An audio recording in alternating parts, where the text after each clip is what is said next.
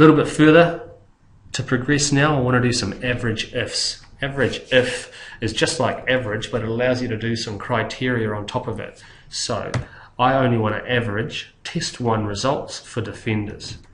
So I'm going to go average if. The prompts tell me what it wants to know. Where's the range? There it is there, that's the positions.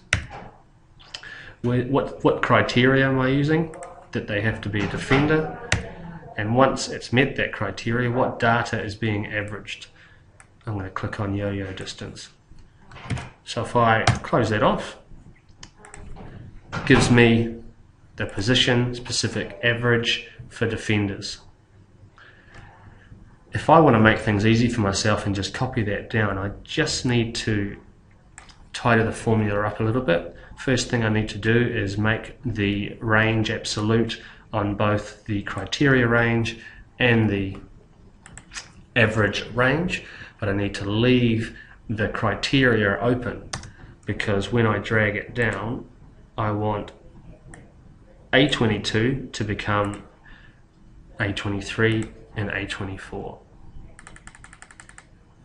Cool. All right. I'm going to do the same thing here. And one of the very cool features of um, Excel 2010 is the ability to click inside a formula. So I'm going to go up into the formula bar, click inside it, and you can see the ranges have been highlighted for us. And so if I want to, I can just drag those around. So I'm going to drag that across to here because this is now what I want to average. The thing that I do have to change is instead of looking at B22, I still need that to be A22. Drag that down. Great. So it's a little bit easier sometimes than retyping the formula out. You can click inside it, drag those cells around. Really useful when you're doing graphing, but uh, that's another story that we'll cover later. I'm going to do that again. Click inside the formula. What I'm averaging this time is percent change. And once again, the thing that I need to make sure of is A22. drag that down. Just going to do a little keyboard shortcut here. Control 1 opens up format cells. I'm going to do percentage with zero decimal places. Great. One final little trick to have a look at, and that is an average change if. Now, this is uh, uh, really the same as, as average if, except it's now average ifs. We can have more than one criteria that determines our average components. So I've written it down there, and really what it's trying to do is eliminate everything other than the people that we want. So I'm going to start typing this out.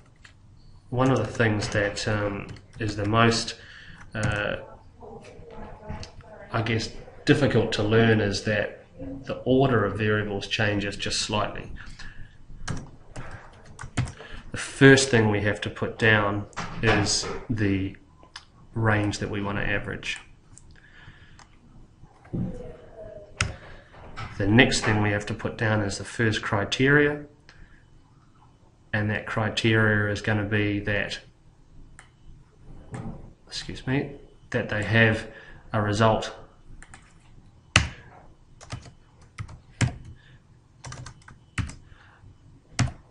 in the first test, have to put things inside quotes when you're using um, things such as greater than zero, because if it's just a number, Excel understands that. As soon as you put an operator in there, an operator can be a greater than or equal to, it needs those quotes.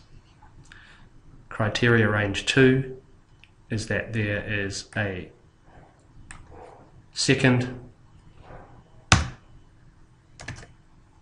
value of data